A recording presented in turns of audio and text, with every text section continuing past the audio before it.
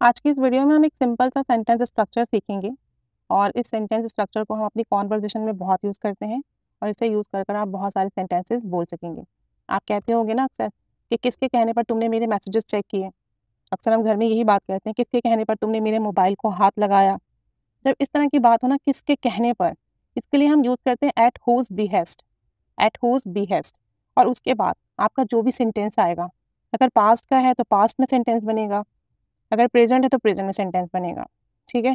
Eight whose behest आप first use करेंगे start में यूज़ करेंगे, उसके बाद आपका सेंटेंस आएगा। कुछ एग्जाम्पल्स देखते हैं।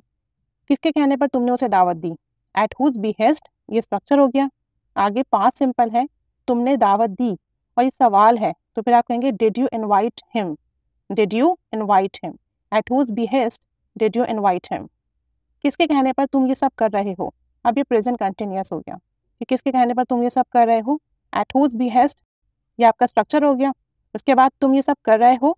Are you doing all this are you doing all this question है, इसलिए हम दे आर डूइंग नहीं कहेंगे आर यू डूइंग कहेंगे। At whose behest are you doing all this किसके कहने पर तुमने मेरे मैसेजेस चेक किए? At whose behest did you check my messages at whose behest did you check my messages past simple था, इसलिए did you check my messages आया। है किसके कहने पर तुमने ये फैसला किया? ये भी पास सिंपल है। At whose behest did you decide this at whose behest did you decide this अब अगर आप ये कहते हो कि मैंने अम्मी के कहने पर उसे दावत दी, ठीक है ना?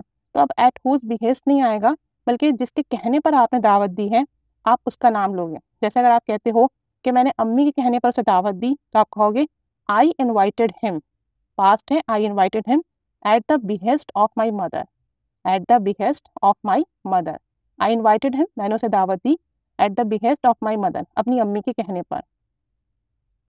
कि मैं ये सब बॉस के कहने पर कर रही हूँ, अगर आप किसी से पूछते हो कि तुम किसके कहने पर ये सब कर रहे हो, और वो आगे से कहता है कि मैं ये सब बॉस के कहने पर कर रहा हूँ तो आप कहोगे I am doing all of this at the behest of my boss at the behest of my boss I am doing all of this मैं ये सब कर रहा हूँ at the behest of my boss boss के कहने पर। ऐसे हमने पूछा था किसके कहने पर तुमने मेरे मैसेजेस चेक किए।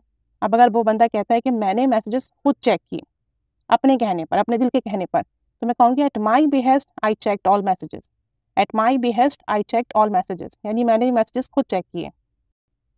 ऐसे अगर आपने कहा, किसके कहने पर तुमने ये फैसला किया? अब आप कहते हो, बहन के कहने पर या जारा के कहने पर। तो आप कहोगे at George's behest I decided it at George's behest I decided it तो ये स्टार्ट में भी आ सकता है और लास्ट में भी आ सकता है।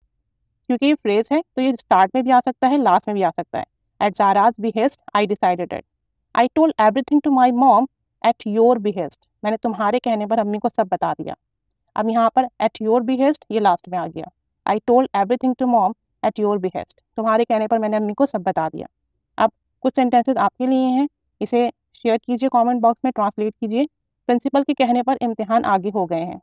यानी इम्तिहान की डेट आगे बढ़ गई है या इम्तिहान मुलतवी हो गए हैं। प्रिंसिपल के कहने पर इम्तिहान आगे हो गए हैं। किसके कहने पर तुमने मुझे फ़ोन किया? किसके कहने पर तुमने मुझे फ़ोन किया? किसके कहने पर तुम घर से बाहर गई? किसके कहने पर तुम घर से बाहर गई? अब ये तीन सेंटेंसेस आप ट्रांसलेट करेंगे कमेंट बॉक्स में शेयर करेंगे। और आपने ये स्ट्रक्चर अपनी कॉन्वर्जेशन में यूज़ करना है। ज़्यादा से ज़्यादा सेंटेंसेस बनाने। Keep staying with us thanks for watching